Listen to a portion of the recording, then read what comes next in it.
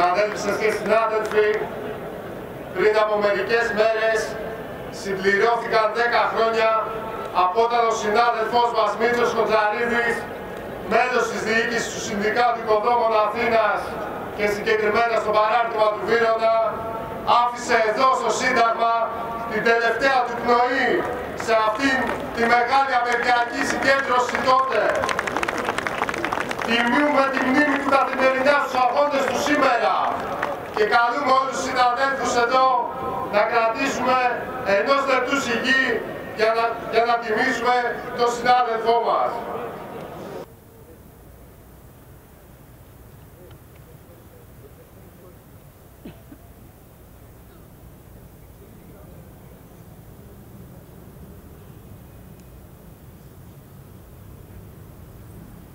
Αθάνατος